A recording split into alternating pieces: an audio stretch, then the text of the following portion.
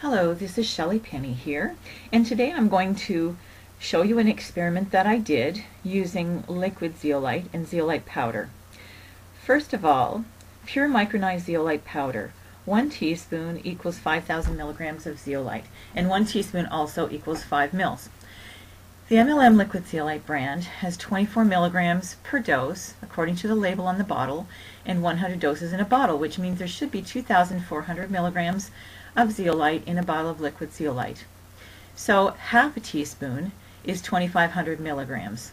I'm going to use 2,000 milligrams of micronized powdered zeolite, add it to 15 mils of water, and show you what it actually looks like, and then compare it to the liquid zeolite bottle. So first of all, we took a 15 ml bottle of liquid zeolite, 15 mils of water that we're going to add to 2,000 milligrams of zeolite powder. This is what the micronized zeolite powder looks like. It's fine, um, very small particle size, and it kind of feels a little bit like cornstarch.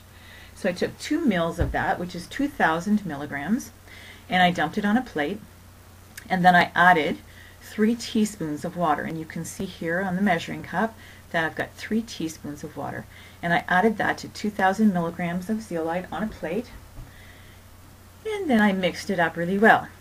And you're going to see in a second exactly what 2,000 milligrams of zeolite looks like in 15 mils of water.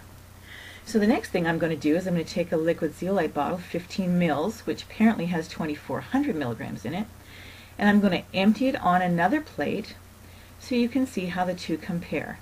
So this is 15 mils of liquid zeolite with apparently, according to the label, 2,400 milligrams of zeolite in it and next to it is 15 milliliters of water with 2,000 milligrams of zeolite.